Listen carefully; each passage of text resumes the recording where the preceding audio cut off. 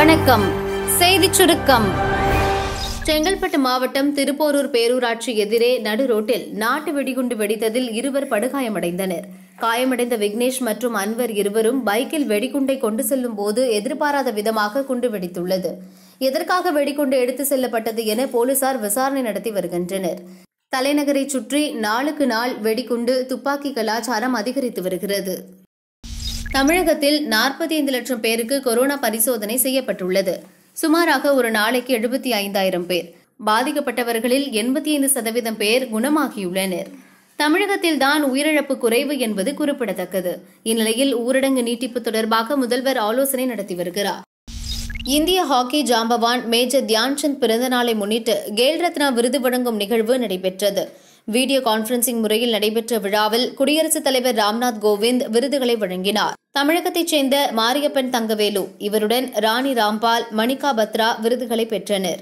ரோஹித் சர்மா வினேஷ் போகத் நிகழ்ச்சியில் கலந்து கொள்ளவில்லை. கேரள தலைமை செயலகத்தில் ஆகஸ்ட் இருபத்தி ஐந்தாம் தேதி தீ விபத்து ஏற்பட்டது. தங்க கடத்தல் வழக்கின் முக்கிய ஆவணங்களை அழிக்க தீ விபத்து திட்டமிட்ட நாடகம் என புகார் எழுந்தது.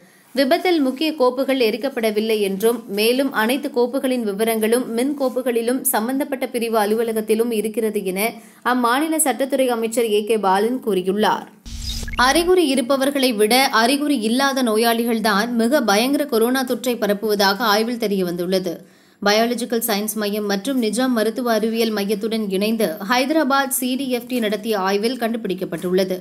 பாதிக்கப்பட்டவர்களில் பெரும்பாலானோர் அறிகுறி இல்லாதவர்கள் என்றும் தெரிவித்துள்ளனர். திருப்பதி ஏழுமலையான் கோவிலில் இன்று முதல் இலவச தரிசனம் அனுமதிக்கப்படுகிறது. வழக்கமாக வழங்கப்படும் இலவச தரிசன டிக்கெட் கவுண்டர்களில் கிடைக்கும். ஆன்லைன் முன்பதிவும் நடைபெறுகிறது. அவெஞ்சர்ஸ் படத்தில் பிளாக் பேந்தராக நடித்த சாட்விக் போஸ்மேன் மரணமடைந்தார். நாற்பத்தி மூன்று வயதாகும் போஸ்மேன் கடந்த சில ஆண்டுகளாக பெருங்குடல் புற்றுநோயால் பாதிக்கப்பட்டிருந்தார்.